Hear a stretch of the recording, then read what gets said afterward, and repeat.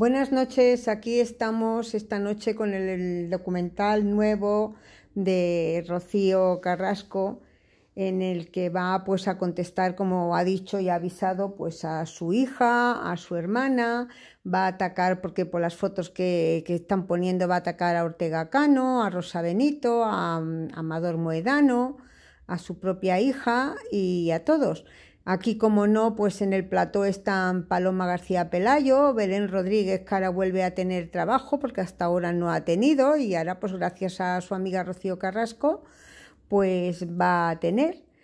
Y, como no, también Carlota Corredera, Ana Bernal, como estuvieron, no sé, eh, muchas de las que ya estuvieron pues en su primera parte y todos a favor de Rocío Carrasco. Falta alguien que, que no la crea, ¿no? Y que vaya atacándola pero bueno, mm, es lo que hay. Están poniendo todo como un resumen de todo lo que fue de la primera mm, parte del documental de Rocío Contar la verdad. Han puesto todos los trozos y cómo ella habló, cómo lo explicó, sus primeros capítulos, las primeras reacciones. Han puesto a Antonio David también que ha salido, como diciendo que iba a traer tormenta y bueno, y todo lo que pasó. Y como, claro, fue en el momento en que ya lo despidieron. Eh, ya dice que esto va a ser el terror y ahora vamos a esperar y vamos a hablar, a ver ahora cuando ya salga ella, que primero es todo este resumen, y comentará y contestará pues a su hija, a, su hermana y según ella pues contestará a todos los que le han estado atacando hasta ahora. Vamos a ver y ahora os pondré el audio para que podáis escuchar y a ver qué os parece.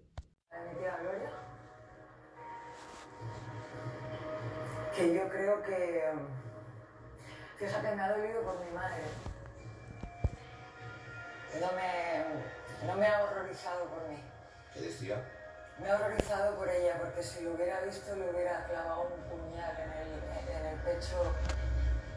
Cuando María Patiño le dice, bueno, si vosotros, si tú hubieras sabido todo esto que ha contado Rocío, hubieses estado a su lado, ¿no? Y ella dice, no, no, no.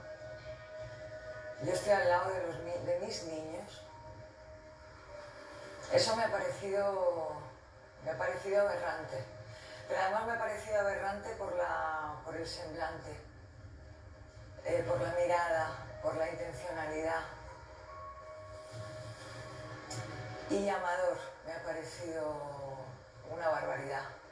Cuando se le pregunta y él dice, se le pregunta si él sabía y entra por teléfono y dice, es, curioso porque él, él, se centra, en vez de decir sabía o no sabía, él se centra en ir describiendo todas las cosas malas mías. Para finalizar con un ella no sabía ni lavarse las bragas. Es muy despectivo. Me parece algo. Eh, me parece algo increíble, de verdad según vaya. Según cuántas veces suene su teléfono, así va cambiando de versión, va cambiando de opinión, va cambiando de registro. Rosa es... Em, Rosa es Beleta. A mí la sensación que me da es como si no... como si yo no hubiese existido, o sea, como si... Eh, como si yo no hubiese vivido, como si yo no hubiese nacido, eh, como si yo no hubiese conversado, como si yo no hubiese estado, como si yo no... Eh, y además lo veo que es, eh, tienen una, una competición que se entenderá, con el documental se entenderá perfectísimamente, pero tienen una competición por el y yo más, pero ¿quién te está diciendo que tú no? ¿Sabes? O sea, es una, es una cosa que es absurda porque dentro de una normalidad es absurdo, o sea, tú no tienes que, tú no tienes que salir diciendo y yo, y yo hice, y yo fui, y fui yo la que cogió, y fui... Es una tontería como la Copa de Oro. Se ha sufrido. Ellos saben lo que su hermana y su cuñada ha sufrido en esa casa con el ser. Ellos saben absolutamente todo.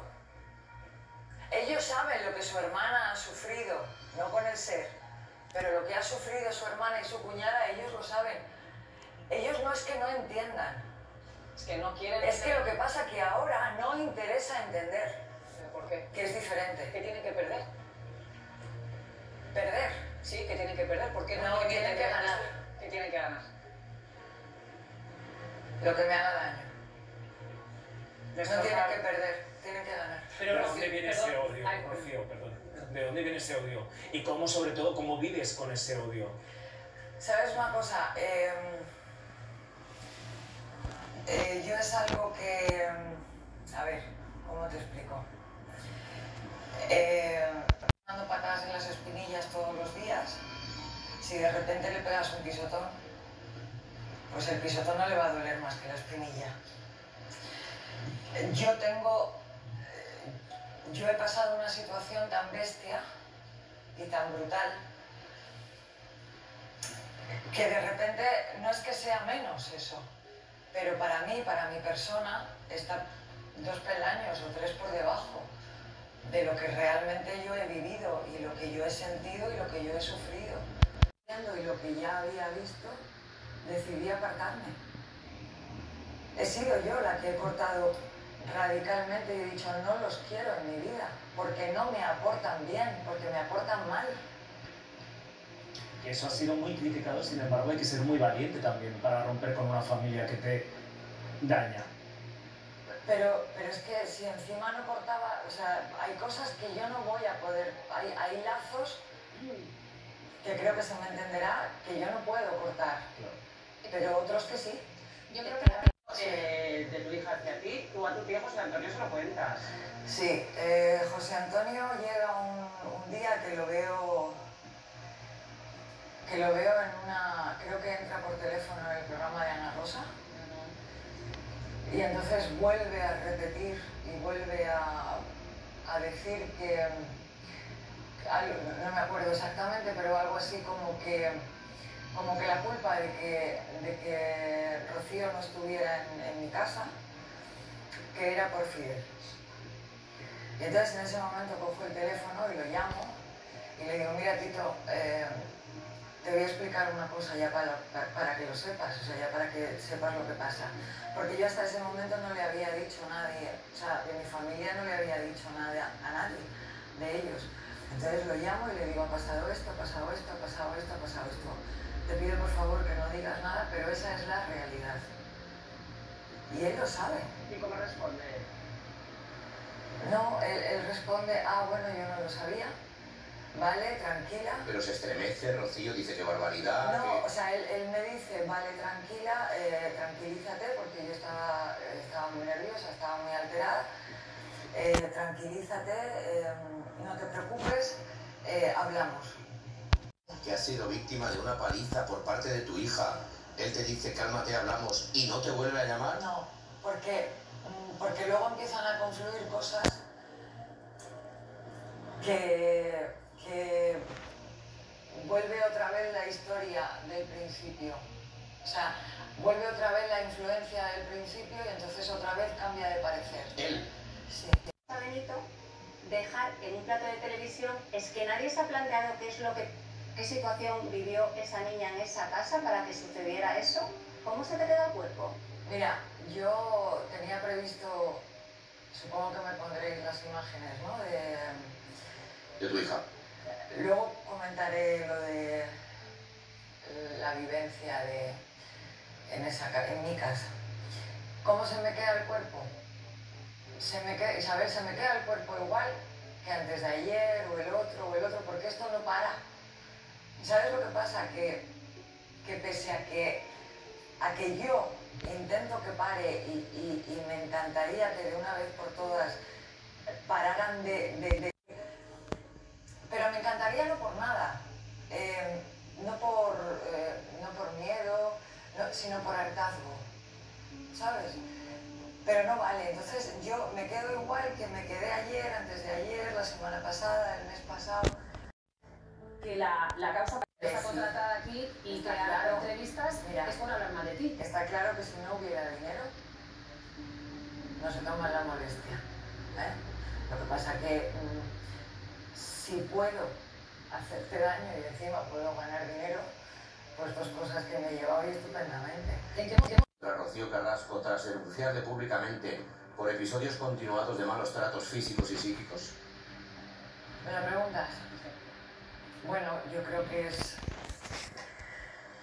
que es clara la, la respuesta. Eh, no me ha denunciado, no solamente no me ha denunciado, ni, me ha denunciado, ni, me ha demandado, que sería por la vía civil, porque si lo hace, eh, yo tendría que ir a un juzgado y demostrar todo lo que he dicho, y como lo que he dicho lo puedo demostrar. Ni siquiera te ha contestado, ya no es que te haya demandado. Es que ha pasado por alto el tema. ¿Sabes una cosa eh, que yo quería decir esta noche? Que el ser haya dejado de estar presente no significa que el ser no esté. Hombre, claro, Hombre, eso está clarísimo. El ser está, el ser está en esta cadena y, y- y- y en el mundo mediático igual que estaba antes. Lo que pasa que no está en presencia. Pero esto y lo que a mí me ha hecho durante 20 años no ha terminado aún. Es que la historia se repite. Yo sigo viviendo episodios de mm, que va haciendo por detrás, que va tejiendo por detrás, que va cogiendo a gente, que les va mandando mensajes, em, a gente que las va amedrentando con denuncias, con demandas, con querellas, em, a gente que les sigue hablando. O sea, esto no o sea, la tortura mía no ha terminado todavía. Y- y empezando a pasarlo mal. Y está empezando a pasarlo mal y está empezando ya a removerse y a sacar un carácter que nada tiene que ver con la niña cándida que conocimos. Entonces, esto, em, en ese momento en el que está ella, lo más normal es que cometa, eh, empiece a cometer errores. Y errores que le pueden hacer daño. Ostras, un padre eso no lo ve e intenta protegerla. Pero que va a intentar proteger. Pero, pero eso es como. Eso es como. No, no sé, o sea, eso no entra en Es cabeza de nadie. está- es que está sacrificando a su hija o inmolando a su hija Pero para que, él lo ha hecho, seguir. pero que lo ha hecho desde que tenía. mm, que no levantaba dos palmos del suelo. Lo ha hecho siempre. No lo va a hacer ahora. Si lo ha hecho siempre, si él ha puesto siempre a sus hijos por delante y él se ha escondido detrás. Pero si él cuando hace, eh, eh, cuando ocurre lo de la niña, cuando, cuando ocurre lo de Rocío, el 27 de julio, es él el que está detrás y la niña le dice, papá, ya está hecho. O sea, si es él, Y van a denunciarte juntos. Claro, es él el que está detrás de toda esa historia, pero, es, pero está detrás de esa historia y está detrás de cualquier historia que a mí me haya pasado desde hace 20 años hasta ahora. Una pregunta, Ana. De acusar de maltratador a Antonio David, a defenderle como buen padre.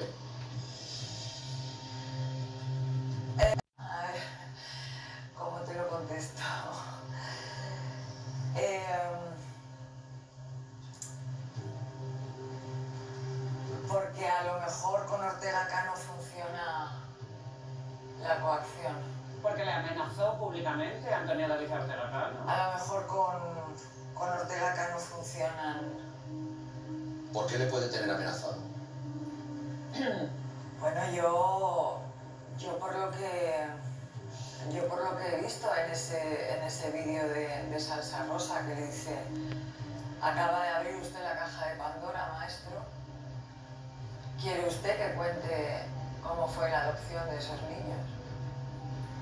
No, a ver, yo no sé, o sea, yo eso no lo sé. Yo lo que te estoy diciendo es lo que él le dice. El argumento que te El argumento que él hace y que le amenaza y que le lanza Y que causa efecto. y que causa efecto, porque nunca Bueno, como podéis ver, esto pues no tiene ni palabras para expresarlo. ¿Qué opináis? Dejadme vuestro comentario aquí abajo, dadle un me gusta al vídeo y suscribiros al canal. Hasta pronto.